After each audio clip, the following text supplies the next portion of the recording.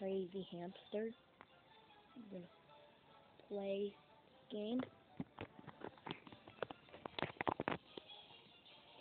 This game, I actually got this game, I think it was five dollars in the DSI Wear Shop. Okay, so I've completed the game. This is the map. And I'm moving over. And show you the first level. This is the first level. This is one dash one. Now I'm gonna play it and show you guys how you play the game. First level is gonna be a little easier than all the other ones, obviously. This game can get frustrating. I wouldn't call it hard, I'd call it frustrating.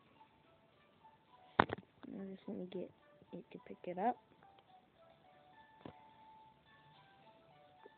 This is the bottom screen, as you can see. This is top.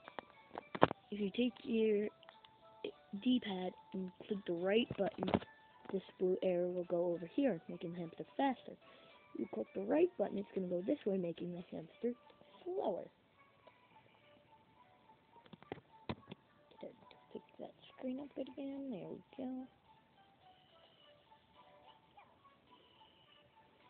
It says press the left and right on the control pad to slow down the hamster or make him run faster.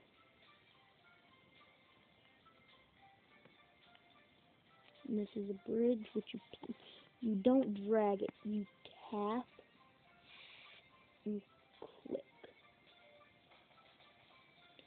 So now I'm going to make him faster. To get to that burrow at the end of each level. And that's all the first level is. These are the stats. One apple, one strawberry, zero watermelons, one cherry, zero bananas. Time bonus 6,000. Total score 7,750. Well, that's it for the crazy hamster review.